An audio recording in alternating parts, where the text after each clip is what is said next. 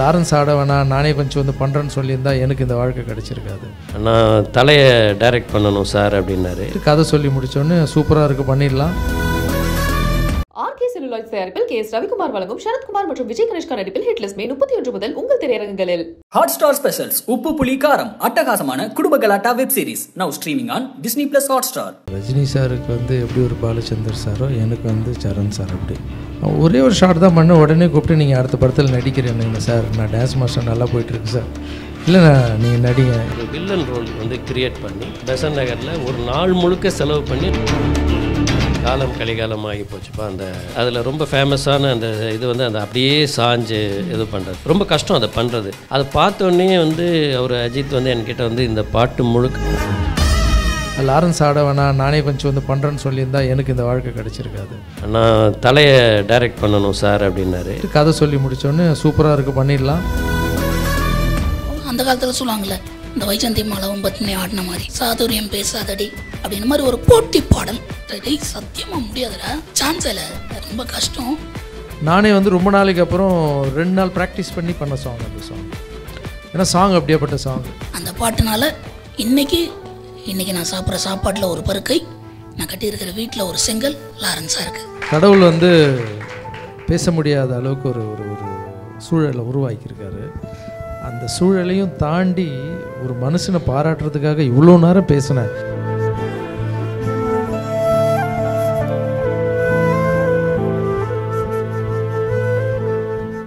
Master அப்படின்னாலே அந்த dance பழைய படம் எதுவுமே நம்ம மறக்கவே முடியாது மாஸ்டரில் ஸோ அந்த வகையில் முக்கியமான ரெண்டு டைரக்டர்ஸ் வந்திருக்காங்க. டைரக்டர் சரண் மற்றும் டைரக்டர் ரமணா அவர்களை அன்போடு அழைக்கிறோம். ஒரு கைத்தட்டல் கொடுத்துடலாம்.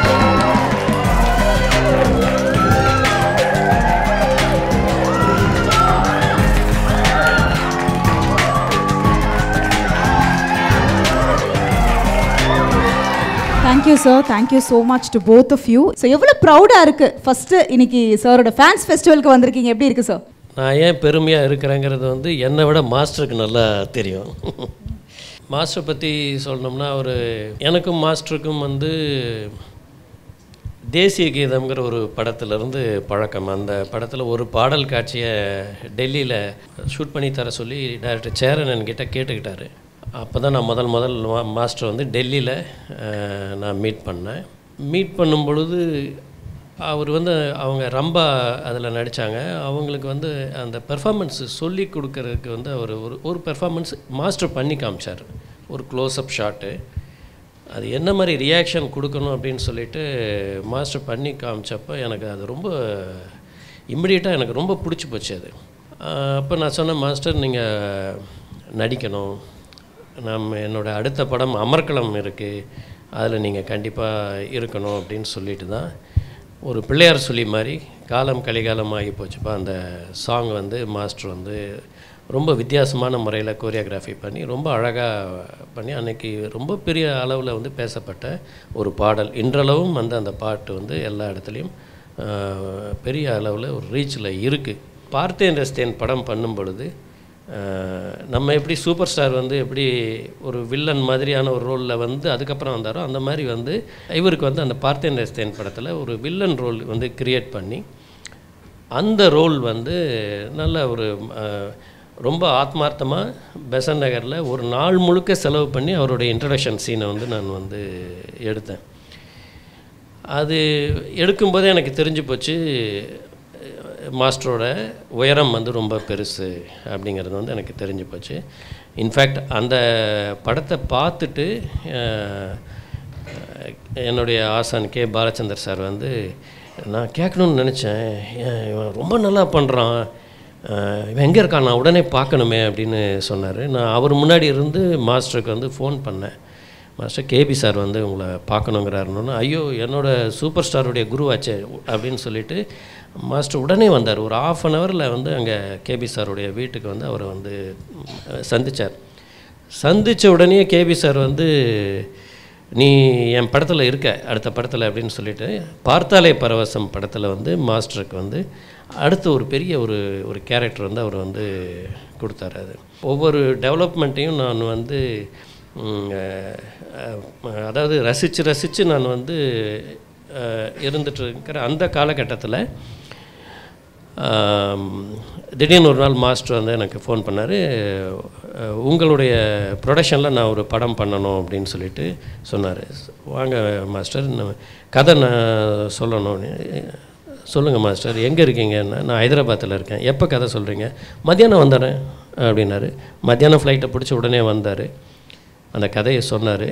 ஒரு ஆஃப் அன் ஹவர் அந்த கதை சொல்லும் பொழுதே எனக்கு வந்து அது அந்த அந்த விதைக்குள்ளே ஒரு பெரிய மரம் இருக்குது அப்படிங்கிறது வந்து என் மனசுக்கு பட்டுச்சு. அவ்வளோ ஒரு சுவாரஸ்யமாக அவ்வளோ ஒரு அழகான ஒரு அந்த கதையை சொன்னார். அதுதான் நான் வந்து ப்ரொடியூஸ் பண்ண முனி. மாஸ்டர் வந்து இந்த அளவுக்கு பண்ணுவார் இன்னைக்கு இவ்வளோ விஷயம் நடக்கும் அப்படின்னு நீங்கள் யோசிச்சிங்களா? கண்டிப்பாக இந்த மனுஷன் எனக்குன்னா ஒரு நாள் இதெல்லாம் தொடர்ந்து அவர் செய்யதா போறாரு அப்போ யோசிச்சிங்களா? நான் அவரை சந்தித்த முதல் நாள்லேருந்து அவர் வந்து அடிக்கடி சொல்லிட்டு இருக்கிறது வந்து அவங்க அம்மாவை பற்றி ஒரு அம்மா மேலே அவ்வளவு பக்தி இருக்கக்கூடிய ஒருத்தர் வந்து எது வேணாலும் பண்ணுவார் எவ்வளவு வேணாலும் பண்ணுவார்.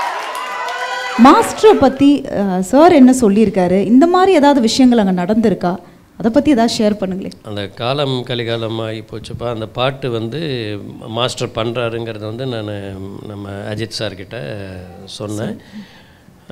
அங்கே செட்டில் மீட் பண்ணாங்க. ஒரு ஒரு அது அதில் ரொம்ப ஃபேமஸான அந்த இது வந்து அந்த அப்படியே சாஞ்சு இது பண்ணுறது அது வந்து தமிழுக்கு ரொம்ப ரொம்ப புதுசாக அந்த ஸ்டெப்பு அது. ரொம்ப கஷ்டம் அதை பண்ணுறது யாரும் வந்து நீங்கள் வந்து ஏதோ கயிறு கட்டி ஆடின மாதிரி இருக்கும். அப்படியெல்லாம் ஒன்றுமே கிடையாது. எந்த மேஜிக்கும் கிடையாது. எந்த இதுவும் இல்லை.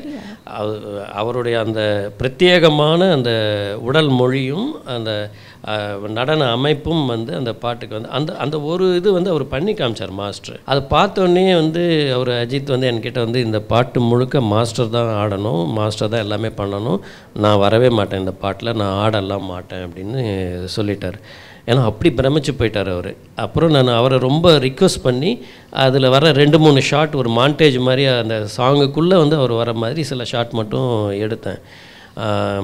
ஸோ அந்த சாங்கை பொறுத்தளவில் அதிலிருந்து அந்த ஆரம்பித்தது இன்ஃபேக்ட் ஒரு தடவை மாஸ்டர் வந்து நான் தலையை டைரக்ட் பண்ணணும் சார் அப்படின்னாரு. நான் ஒரு ஃபோன் அடித்தேன் அவர் இமிடியட்டாக ரெஸ்பாண்ட் பண்ணார். மாஸ்டர் வந்து உங்களை பார்க்கணுங்கிறாருன்னா. உடனே கூட்டிகிட்டு வாங்க அப்படின்னாரு. உடனே வந்து போனோம். போனோடனே மாஸ்டர் வந்து அதே தான் அந்த எப்படி அந்த ஸ்டெப்பு போட்டு காமிச்சாரோ அந்த மாதிரி ஒரு கதையை வந்து சொன்னார். அது ரெண்டாவது நிமிஷம் வந்து அவர் அஜித் அவர்கள் சொன்னார் மாஸ்டர் நீங்கள் இந்த படம் நம்ம பண்ணுறோம் கண்டிப்பாக அதே மாதிரி வந்து அந்த படத்தில் வந்து இன்னொரு ரோல் வந்து நீங்கள் எடுத்து பண்ணுங்கள் என்னை விட அதிகமான மைலேஜ் அதில் இருக்கணும் அப்படின்னு சொன்னார். பட் சில பல காரணங்களால அந்த ப்ராஜெக்ட் வந்து நடக்கலையே தவிர பட் அஜித் அவர்கள் வந்து மாஸ்டர் மேலே ரொம்ப அபரிமிதமான ஒரு அன்பு வச்சுருக்கிறாரு ஒரு மதிப்பு வச்சுருக்கிறாரு. இது வந்து அந்த அமர்கலம்லேருந்து அவங்களுக்குள்ள தொடரக்கூடிய ஒரு நட்பு அது. மாஸ்டர் நீங்கள் என்ன சொல்ல விரும்புகிறீங்க ஏன்னா ஐ திங்க் இன்றைக்கும் எத்தனையோ பாடல்கள் வந்தாலும் ஒரு சில பாடல்கள் நம்மளால் மறக்க முடியாது. அந்த மாதிரி தான் அமர்க்கலம் ஸோ சொல்லுங்கள் இப்போது ரஜினி சாருக்கு வந்து எப்படி ஒரு பாலச்சந்தர் சாரோ எனக்கு வந்து சரண் சார் அப்படி. அவர் வந்து பார்த்தீங்கன்னா வேறு ஒரு சாங்கு ஷூட் பண்ணுறதுக்காக வந்து நான் மாஸ்டராக போயிருக்கேன். எல்லாமே கேட்டீங்க. ஒரே ஒரு ஷார்ட் தான் பண்ண உடனே கூப்பிட்டு நீங்கள் அடுத்த படத்தில் நடிக்கிறேனுங்கண்ணே சார் நான் டான்ஸ் மாஸ்டர் நல்லா போயிட்டுருக்கு சார். இல்லைண்ணா நீங்கள் நடிங்க. எல்லாரும் சொல்லுவாங்க இந்த மாதிரி டான்ஸ் ஆடும்போது விட்டுருவாங்கன்னு பார்த்தா கரெக்டாக மூணு மாதத்துக்கு அப்புறம் ஃபோன் பண்ணார். மாஸ்டர் நான் சொன்னேன்ல ஒரு சாங் வந்து ஆடுறீங்கன்னு கூப்பிட்டாங்க. ஆட வச்சார். அதுக்கப்புறம் வில்லனாக பண்ணுங்கன்னாரு. வில்லனாக பண்ணேன். அதுக்கப்புறம் பாலச்சந்தர் சார்கிட்ட அவர் தான் கூப்பிட்டு போனார். அவர் தான் அவர்கிட்ட தான் கேட்டிருக்கார் பாலச்சந்தர் சார். அதுக்கப்புறம் நான் ஃபஸ்ட்டு ஃபஸ்ட்டு தமிழில் வந்து பெரிய இட்டு தெ தெலுங்கில் பெரிய இட்டு டைரக்டர் ஆயாச்சு. ஆனால் தமிழில் பண்ணணும்னு நினைக்கும் போது எனக்கு தோணுந்து நம்மளுக்கு லைஃப் கொடுத்துரு அவர் பேனரில் தான் பண்ணணும்னு எனக்கு நான் டிசைட் பண்ணேன். அப்போ வந்து ஒரு ரெண்டு மூணு கம்பெனி என்னை அப்ரோச் பண்ணியிருந்தாங்க. இல்லை அவருக்கு தான் பண்ணணும் அப்படின்னு சொல்லிட்டு ஃபஸ்ட்டு அவருக்கு தான் ஃபோன் பண்ணேன். நான் லக்கியான ஒரு நம்ம வாழ்க்கையில் ஒரு நல்ல வ வழிகாட்டியாக இருக்கார். அவர் பேனருக்கு பண்ணால் சூப்பராக இருக்கும். ஒன்றுமே பேசிக்கல. வந்து கதை சொன்னோம். ஃப்ரெண்ட்லியாக ஒரு உடனே ஆஃபீஸ் போட்டு கொடுத்தாரு. நல்லபடியாக படம். அது அதோடைய ஆரம்பம் தான் முனி. இப்போ காஞ்சனா ஃபைவ் வரைக்கும் வந்து நிற்கிது அது. ஸோ என்னுடைய லக்கியான குருன்னு சொல்லலாம் அவரை. அதுக்கப்புறம் நான் ப்ரொடியூஸ் பண்ணணும் போது கூட அஜித் சார் கதை சொல்லணும் போது கூட சார்கிட்ட தான் சொன்னேன் நான். சார் வந்து எனக்கு ஃபோன் பண்ணியிருந்தார். மாஸ்டர் அஜித் சாருக்கு ஒரு கதை இருந்தால் நல்லா இருக்குமே மாஸ்டர் பண்ணலாமா அப்படின்னு. பண்ணலாம் சார் இருக்குது சார் கதைன்னு சொன்னேன். நீங்கள் வாங்க உடனே போகலான்னு கூப்பிட்டு போனார். அப்போ நான் ஒரு புது கார் ஒன்று வாங்கியிருக்கேன் அப்போ. ஞாபகம் இருக்கா சார்? புது கார் வாங்கியிருக்கேன். அந்த கார் எடுத்துகிட்டு போனேன். போயிட்டு கதை சொல்லி முடித்தோடனே சூப்பராக இருக்குது பண்ணிடலாம். இதில் நம்ம ரெண்டு பேர் சேர்ந்தே நடிக்கலாம் லாரன்ஸ்னு சொன்னார்.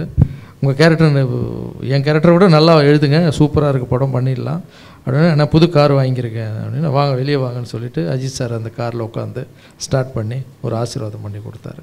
இந்த டைமில் வந்து அஜித் சாருக்கும் தேங்க்ஸ் சொல்லிக்கிறேன். சார் சொன்ன மாதிரி அமர்கட்டத்தில் லாரன்ஸ் ஆட வேணாம் நானே கொஞ்சம் வந்து பண்ணுறேன்னு சொல்லியிருந்தா எனக்கு இந்த வாழ்க்கை கிடச்சிருக்காது. ஸோ அஜித் சாருக்கும் இந்த டைமில் நன்றி. என்னுடைய குரு சரண் சாருக்கும் என்னுடைய நன்றி தெரிவிச்சுக்கிறேன். ஒரு பெரிய ஒரு படம் ஜாம்பவான் திருமலை அப்படின்னு சொல்லலாம். இன்றைக்கும் வந்து எல்லாருமே வந்து எப்படிடா இந்த காம்போ அப்படின்ற மாதிரி வியக்க வச்சிங்க ரமணா சார் ஸோ சொல்லுங்கள் first how happy your feeling to be part of this festival first first அவரோட நான் தயான்ற ஒரு படத்தில் பிரகாஷ் ராஜ் ப்ரொடியூஸ் பண்ண படத்தில் சிம்ரனும் பிரகாஷும் ஒரு சாங் இருந்தது. அந்த சாங்குக்கு தான் மாஸ்டர் வந்தாங்க. அப்போ தான் அதில் நான் அசிஸ்டன்ட் டைரக்டர் அந்த படத்துக்கு வந்து கோ டைரக்டராக இருந்தேன். அதுதான் முதல் அறிமுகம். அதுக்கப்புறம் காலம் கடந்தது. அப்போவே பா மாஸ்டர் வந்து பயங்கர hot cake busiest master south India அப்போது எனக்கு சரண் மாதிரி எனக்கும் கேபி சார் யூனிட்டில் முதல் முதல்ல படம் இயக்குவதற்கான ஒரு வாய்ப்பு இளைய தளபதி விஜய் அவர்களோட பணிபுரிகிற ஒரு வாய்ப்பு கிடச்சிது. அப்போது அது வந்து ஒரு கமர்ஷியல் ஃப்ளெக்கு பட் அதில் ஃபஸ்ட்டு ஓப்பனிங் அப்படின்போது விஜய் வந்து எல்லோருக்கும் தெரியும். ஹவு குட் இன் டான்ஸ் அப்படிங்கும்போது அப்போ அதில் ஒரு ஒரு ஆட் ஆட் டான்ஸ் நம்பர் இருக்கணும்னு நினச்சி ஒன்று கம்போஸ் பண்ணுவோம். அப்போவே வந்து ஒரு ஒரு ஒரு அந்த காலத்தில் சொல்லுவாங்கள்ல இந்த வைஜந்தி மாலவும் பத்மினி ஆடின மாதிரி. அந்த மாதிரி ஒரு சாதுரியம் பேசாதடி அப்படின்ற மாதிரி ஒரு போட்டி பாடல். ஒரு டான்ஸில் வந்து ஒரு போட்டியான ஒரு விஷயம் நடக்கணும்னு நினச்சோம். அந்த பாட்டு தான் எங்களுக்கு இன்ஸ்பிரேஷன் அதை இன்னைக்கு ஒரு ரப்பரை உடம்பு ஒரு உடம்பு இருக்கிற மாதிரி ஒரு மஸ்தர் அப்படி ஒரு அலை மாதிரி வளையிற ஒரு உடம்பு இரும்பு மாதிரியான ஒரு உறுதியான உடம்பு இது எல்லாத்தையும் தாண்டி பூ மாதிரி ஒரு மனசு.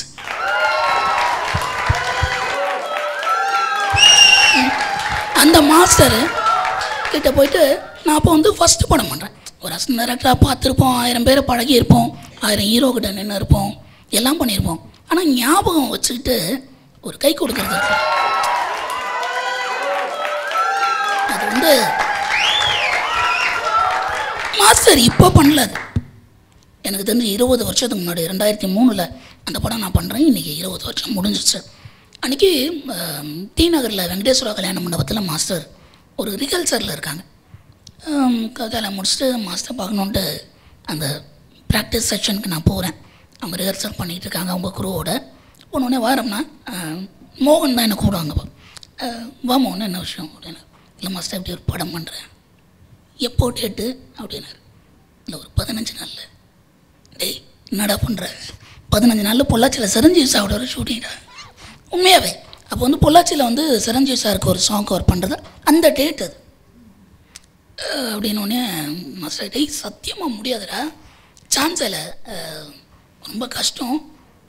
நீ வேறு ஃபஸ்ட்டு படம் பண்ணுறன்ற என்ன பண்ணுறது அப்படின்னாரு இல்லை மாஸ்டர் நீங்களும் விஜயும் ஒரு நம்பர் பண்ணோம் ட்ரை பண்ணுங்களேன் ப்ளீஸ் சரி அந்த பாட்டு போடு அப்படின்னு அப்படின்னா அங்கே இருக்கிற அந்த ஒரு செட்டில் ஆடியோ செட்டில் நான் ப்ளே பண்ணேன்.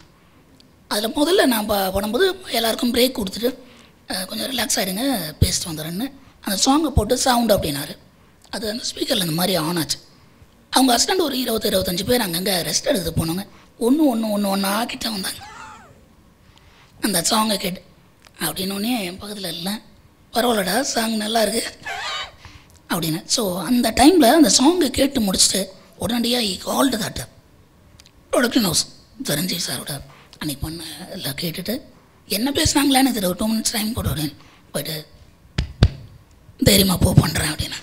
ஸோ அன்னைக்கு இப்போ அவங்க சொன்னாங்கல்ல சரண் சார் வந்து ஒரு ஒரு வழிகாட்டுதில்லை அந்த பக்கம் போனதில் இன்றைக்கி இந்த உயரம் அப்படின்ற மாதிரி. அன்றைக்கி லாரன்ஸ் மாஸ்டர் உங்களுக்கெல்லாம் கை காட்டினதில்லை. எனக்கு அன்றைக்கி கை காட்டினேன் இந்த பக்கம் போகிறோம்னா இந்த பக்கம் போ. உன் கூட நான் நிற்கிறேன் ஒரு சிரஞ்சீவி சார் எங்கே உலகத்தில் எதுவுமே அறிமுகம் இல்லாத ஒரு சதாரசனையான ஒரு அசிஸ்டன்ட் டேரக்டர் எங்கே அன்றைக்கி கூட நின்ன ஒரு மனிதன்.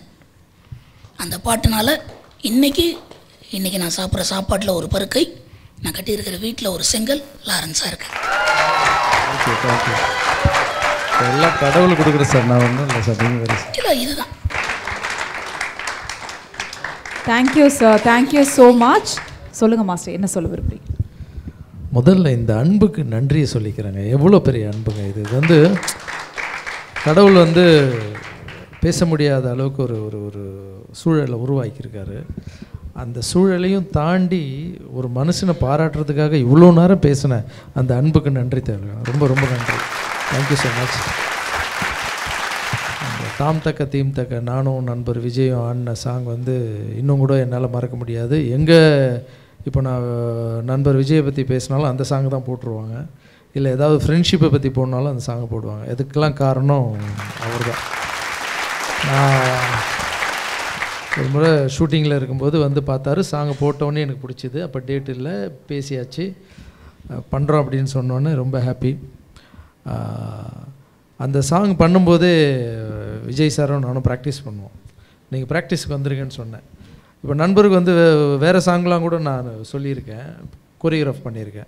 அப்போ ஸ்டேட்டஸ் ஸ்பாட்டுக்கு வந்துருக்குன்னு சொல்லுவேன். பட் தாம் தக்க தீம் தக்க மட்டும் டைரக்டர்கிட்ட சொல்லி ஒரு ரெண்டு நாள் ரிகல்சருக்கு வர சொல்லுங்கள் அவர் அப்படின்னு சொன்னேன். இவர் போய் சொன்னோன்னே ரெண்டு நாள் நான் ரிகல்சருக்கு வரேன்னு சொல்லி அந்த வெங்கடேஸ்வரா கல்யாண மண்டபம் டி நகரில் இருக்கிற வெங்கடேஸ்வரா கல்யாண மண்டபத்தில் ரெண்டு நாள் ப்ராக்டிஸ்க்கு வந்தார் விஜய் சார் நானே வந்து ரொம்ப நாளைக்கு அப்புறம் ரெண்டு நாள் ப்ராக்டிஸ் பண்ணி பண்ண சாங் அந்த சாங்கு ஏன்னா சாங் அப்படியேப்பட்ட சாங்கு இவர் சொன்ன ஒரே ஒரு வார்த்தை தான். மாஸ்டர் ஃபஸ்ட் டைம் டைரக்ட் பண்ணுறேன் இந்த படத்தில் ஓப்பனிங் சாங் நீங்களும் விஜய் சார் அண்ணா எனக்கு பெரிய ஒரு ஹெல்ப்பாக இருக்கும் மாஸ்டர்.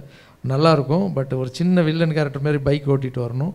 அதில் சீன்லாம் சொன்னார் சார் சீன்லாம் விடுங்க சாங் நல்லாயிருக்கு இவர் பேசின முறை அப்போ வந்து சொன்ன விதம் அந்த லைஃப்பை பற்றி பேசின ஒரு ஆர்வம் அதெல்லாம் எனக்கு ரொம்ப பிடிச்சிது.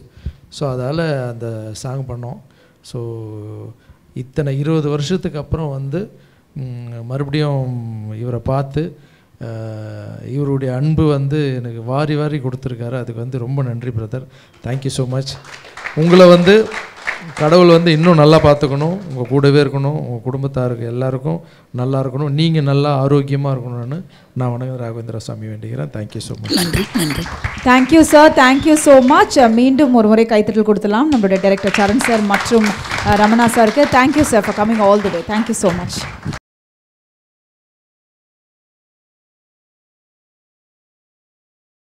RK celluloid தயாரிப்பில் கே எஸ் ரவிக்குமார் வழங்கும் சரத்குமார் மற்றும் விஜய் கணேஷ்கா நடிப்பில் ஹிட்லஸ் மே முப்பத்தி ஒன்று முதல் உங்கள் திரையரங்குகளில். ஹாட் ஸ்டார் ஸ்பெஷல்ஸ் உப்பு புலி காரம் அட்டகாசமான குடும்ப கலாட்டா web series now streaming on Disney plus Hotstar